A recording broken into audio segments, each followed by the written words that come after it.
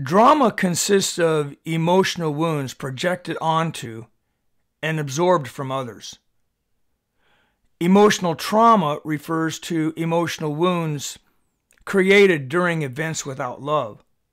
Therefore, any situation lacking love can result in emotional trauma. So, the only way to prevent and heal emotional trauma is to bring love, compassion, and understanding into every situation. To do so requires higher consciousness. As long as you identify with pain, you cannot be free from it. Past trauma is not who you are.